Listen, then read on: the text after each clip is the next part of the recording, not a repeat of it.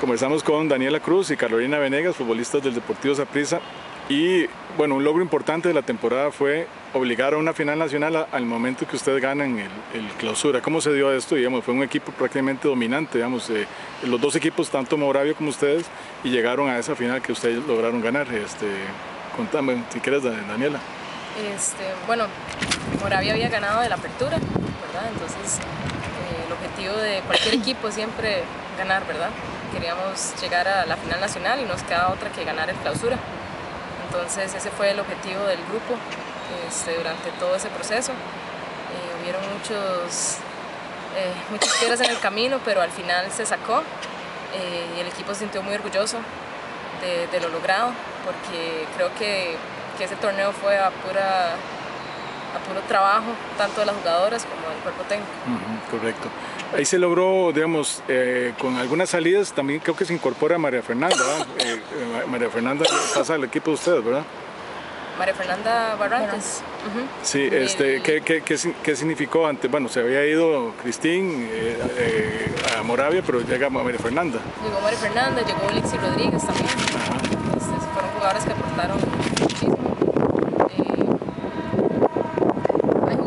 importantes en los equipos, eso, no es un secreto para nadie. El jugador es clave, pero tampoco creo que hay nadie irreemplazable. Un jugador juega para el equipo.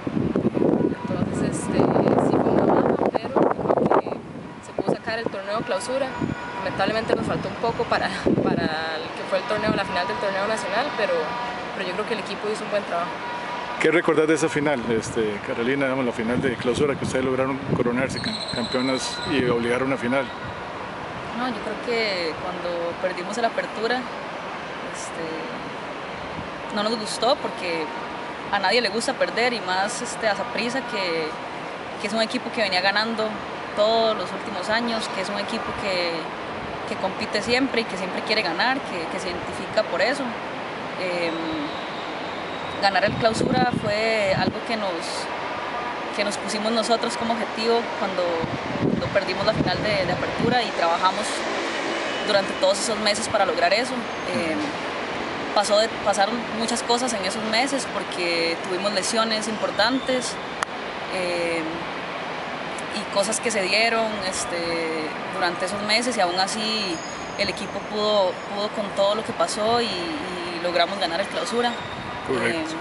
¿Les afectó en algún momento en las finales, sobre todo, vamos, eh, el que no pudieran jugar en, el estadio Saprissa? Yo creo que ¿Y por qué se da esto? Eh, yo creo que quizás no es que, que, nos afecte directamente en nuestro juego, porque nosotros estamos acostumbrados a jugar en todo tipo de, de, campo porque hemos andado por todo lado, ¿verdad? Yo creo que es una cuestión más de, de motivación, de incentivar a las jugadoras. Si se llega a una final de clausura, de apertura o nacional, yo creo que lo mínimo que, merece un equipo de primera división femenino es que, le presten su casa, que le presten su estadio, que, la institución a la cual ellas representan, o sea, nosotras, este, las deje jugar en su casa y, y, le dé todas las condiciones para que a esa final lleguen motivadas, lleguen este, tranquilas de que, de que están jugando en su casa, de que es un buen terreno de juego, de que tienen todas las condiciones para simplemente dedicarnos a, jugar, que es lo que a nosotros nos toca hacer, ¿verdad? Y no preocuparnos por si vamos a jugar en otra cancha o cómo va a estar la cancha, las condiciones del terreno de juego, y que si hay luz o que si no hay luz, porque ahí pasa que en algunos estadios de acá la iluminación no es la correcta, entonces yo creo que es lo mínimo que, que merecemos nosotras, no solo Saprissa, sino cualquier equipo de primera división femenino, es jugar en un lugar que tenga todas las condiciones óptimas para, para nuestro buen desempeño, ¿verdad? Nosotras simplemente dedicarnos a jugar y a rendir en el campo y no preocuparnos por todas esas cosas externas que, que al, o sea, al final nos perjudican, ¿verdad? Correcto. Les cambio el tema un poco relacionado también al torneo de clausura. E, el final del torneo lo terminan nueve equipos, se retira el Plus Pro Herediano. ¿Cómo vieron ustedes esta situación? un poco reflejo, digamos, de tal vez de alguna situación de que falta apoyo a los equipos. O, ¿cómo, lo analizan ustedes, eh, Daniela? Bueno, esto el tema del fútbol femenino es, un tema complicado y siempre pues, se termina en lo mismo de que es falta de recursos, ¿verdad? Este, lamentablemente se sabe que tal vez el fútbol femenino no vende y es más bien una inversión, ¿verdad?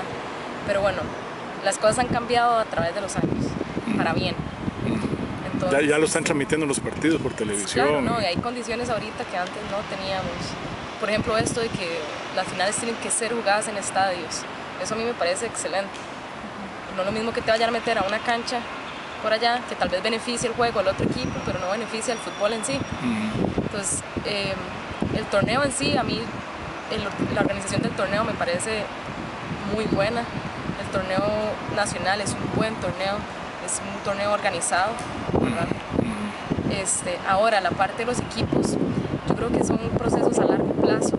Digamos, vos no puedes decir, Ay, voy a invertir en este equipo fútbol femenino este año y ya. Son, son cuestiones a largo plazo y a mí me parece que deben de involucrar no solo un equipo de primera división, deben involucrar todo un proceso donde los primeros equipos, desde los de abajo, sean autosuficientes, empezando por ahí. Y que esos equipos puedan brindarle un apoyo ya al que esté más arriba. Eso es lo que yo, lo que yo pienso. En cuanto a los equipos que son independientes, por ejemplo, Moravia viene haciendo un gran trabajo con todas sus ligas menores. Y así fue como empezaron, ¿verdad? Y vean ahorita, Igual que Arenal. Arenal empezó hace muchos años, pero fue así. Yo siento que ahora los equipos... Eh, por ejemplo, bueno, yo la verdad no, no puedo hablar del Club Sport Herediano porque soy ajena al caso, no sé qué sucedió, pero me parece que es un... Es, eh, porque muchas muchachas quedaron, perdón, quedaron al garete, digamos. Algunas se lograron colocar, pero algunas perdieron esa oportunidad de seguir rozándose en la primera edición. Sí, yo, como te digo, yo honestamente no, no sé qué sucedió ahí, pero, este, por ejemplo, el fútbol femenino es una inversión, pero también es un, es un producto que ocupa venderse y eso creo que es lo que hace falta acá. Tenemos que vender más el fútbol femenino, porque si mi, si mi hijo quiere jugar fútbol, yo le pago una escuelita de fútbol. Si mi hija quiere jugar fútbol, yo le voy a pagar una escuelita de fútbol también. Al igual de que si quiere tocar guitarra mi hija o mi hijo, ¿verdad? Entonces yo siento que, que es una inversión. es, es, una inversión y hay que venderlo como un producto, así como el fútbol nacional es un producto, ¿verdad? O sea, el fútbol en sí es, es, es un producto. Entonces este, yo siento que, que, hay que hacer un poco más de, de marketing y organizarlo, estructurarlo mejor. Que ya está, que ya mejoró, mejoró. Mejoró montones. Pero puede ser mucho mejor. ¿Y por qué no seguir avanzando?